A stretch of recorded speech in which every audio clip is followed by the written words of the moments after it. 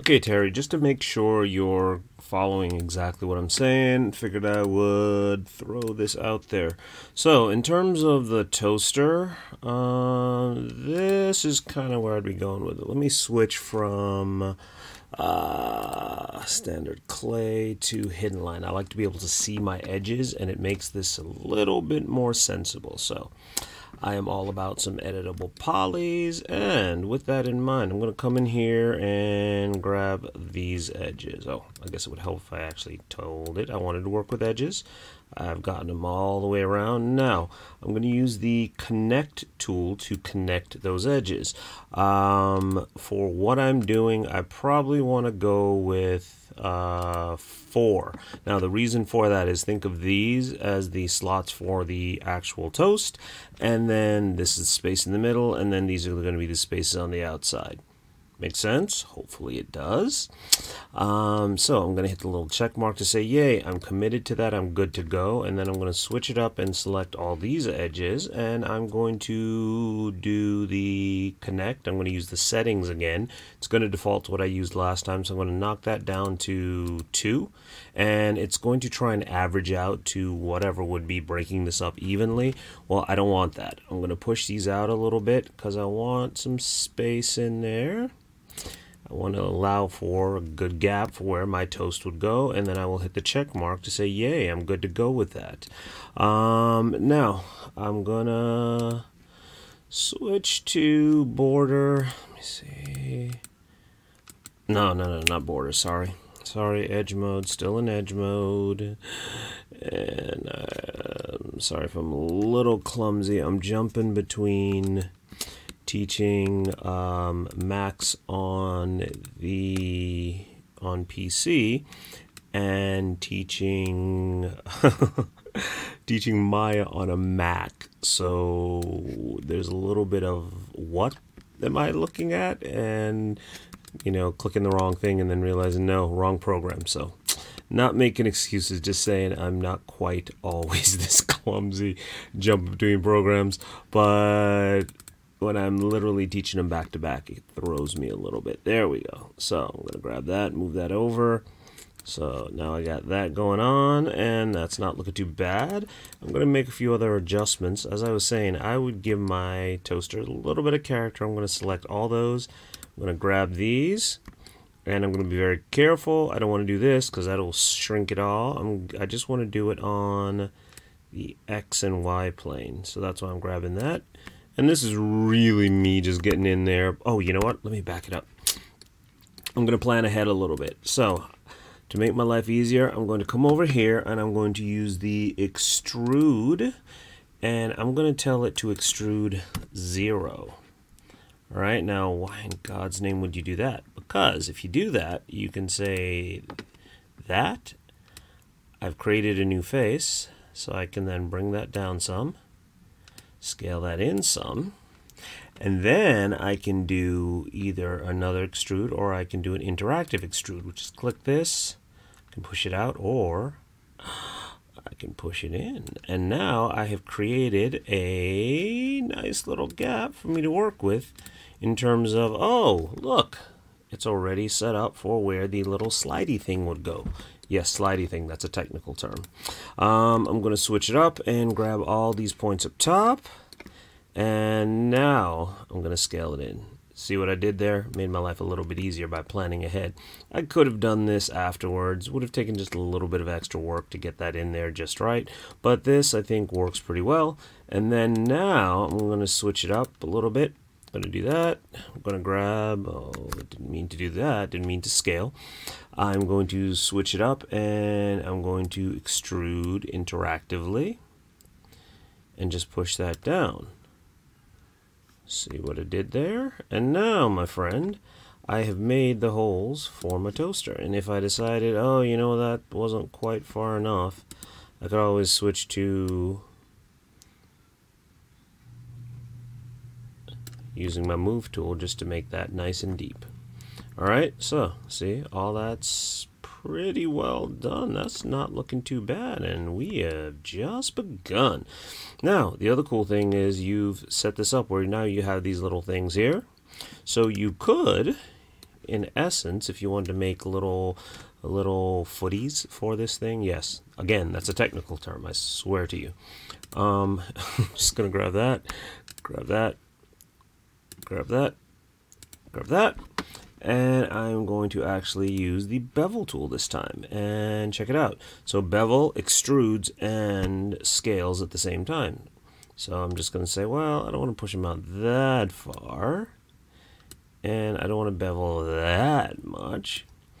And just that quickly, I have now created decent little looking little toaster. And, you know, I've already set that up. I'm going to hit that so I can commit that. Now I'm going to get in here and get a little special with it. Um, no, that's still not going to work because it's not a hole. Oh, Control Z to undo that. Did not mean to move it, just meant to select. Ah, come back here, you goofy thing. There we go. So.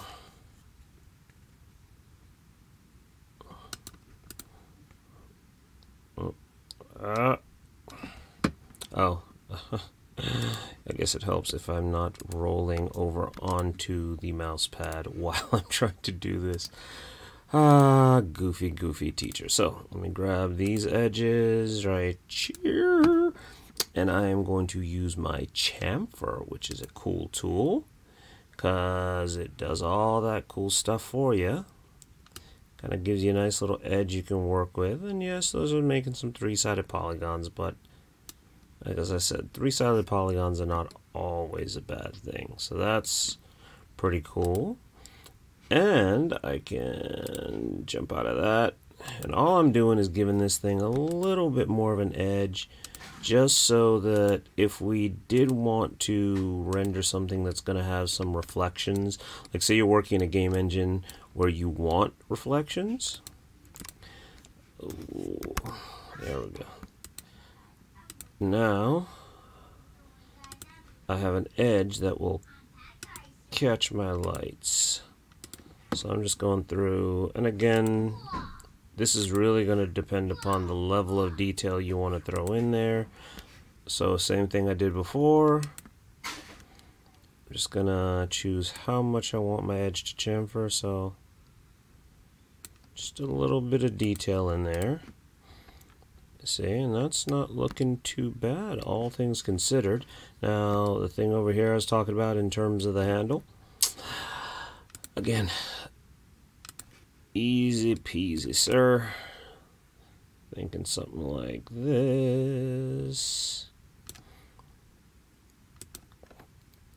Alright, and again, I'm kind of eyeballing this, but if you want to get specific, this is where I would switch and use maybe this overhead view to make sure that what you're working with will be sized properly and fit in there and looks like it will. So you could bring that up a bit. That's not looking too bad. There we go and this will help you begin to make sure you know it's kind of scaled okay um, I will say, in terms of game models, this is one of those areas where you're going to want to start working on thinking logically. See this back face? If I'm never going to see it, it's not going to be there, it's not something I'm going to see, then guess what? I'm going to come in here, go to my polygon mode, I'm selecting that sucker, I'm deleting it. Deleting it. Uh, uh, of course delete doesn't want to work with me. Delete. There we go. So, um, yeah, it's all about making sure you optimize stuff. So I'm going to select that.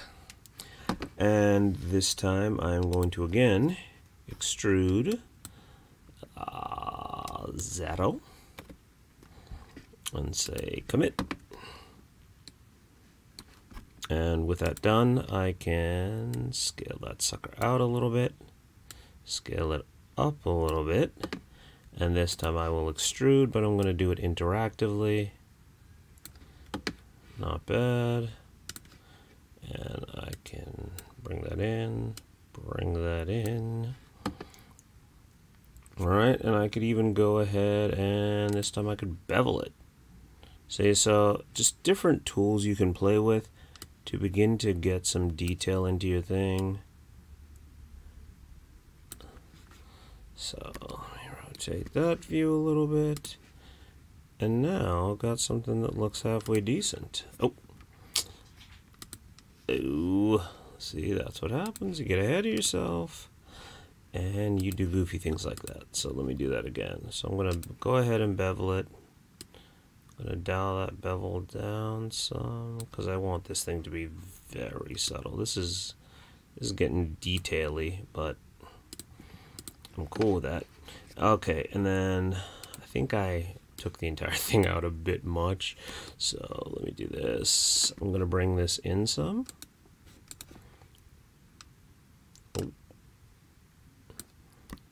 Then if I really wanted to get tricky with it, I'm going to grab just the top ones, push those back a bit, and I'm just kind of eyeballing it. But now, this kind of matches that a little bit.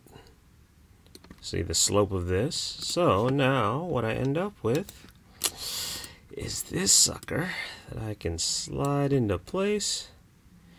Et voila! And now, my friend, you have something that looks yeah, relatively toaster-like. And wouldn't be too hard to just throw some keyframes in there, have this thing moving up and down, and you would be good to go. So hopefully that helps give you an idea of how you could begin to approach something like this and begin to detail it a bit more. And hopefully this worked because I'm trying this new recording software and uh, I think it's working, but we'll see.